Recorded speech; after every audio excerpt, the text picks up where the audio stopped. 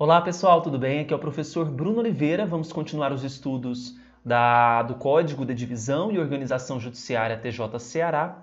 Os artigos que nós trabalharemos hoje, um grupo de artigos do 90 ao 95, nós vamos tratar de algumas competências onde nós temos comarcas e a depender do número de varas, as competências vão ser alteradas.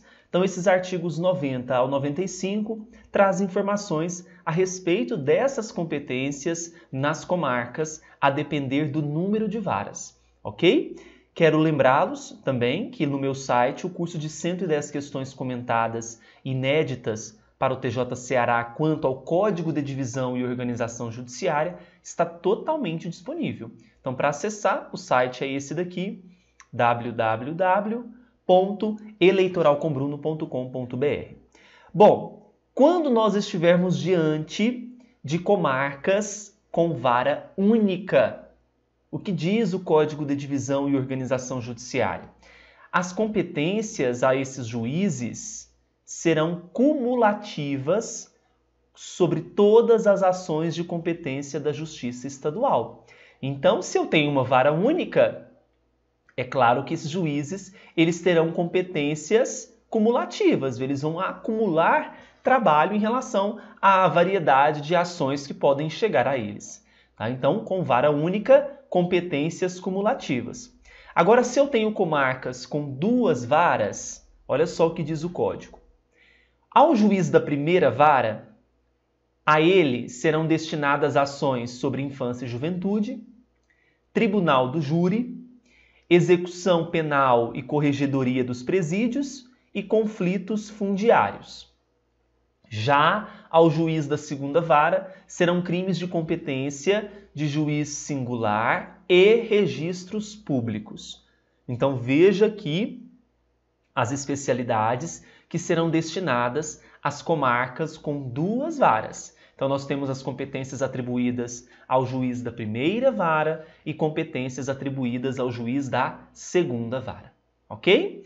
Agora, se eu tenho comarca com três varas, ao da primeira vara, quais são as competências? Relacionadas a tribunal do júri, execução penal, corregedoria de presídios né? e também conflitos fundiários.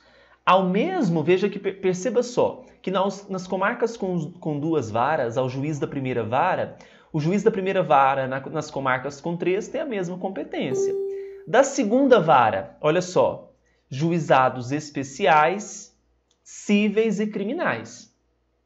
Da terceira vara, infância e juventude e registros públicos. Então, comarca com três varas, nós temos aqui as competências para o juiz da primeira, para o juiz da segunda, que ficará responsável pelos juizados especiais cíveis e criminais, e o juiz da terceira vara, infância juventude e registros públicos.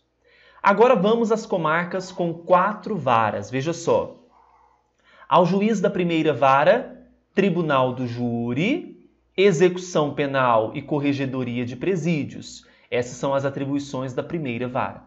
Ao juiz da segunda vara, juizados especiais cíveis e criminais. Da terceira vara, infância e juventude e registros públicos. E da quarta vara, violência doméstica e familiar. Então, como essa comarca com quatro varas, ao juiz da quarta vara, aqui a observação mais relevante que nós podemos fazer em relação a isso, é os assuntos relacionados à violência doméstica e familiar destinado ao juiz da quarta vara. Quando eu tenho comarcas com cinco ou mais varas, o que diz o código?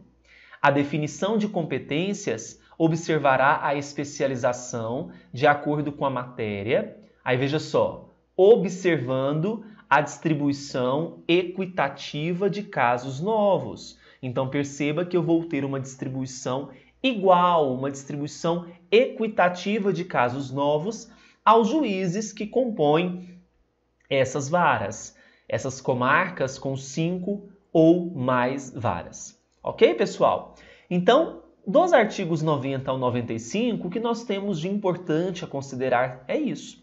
Eu espero que vocês tenham gostado e a gente se vê amanhã com mais Código de Divisão e Organização Judiciária. Até mais.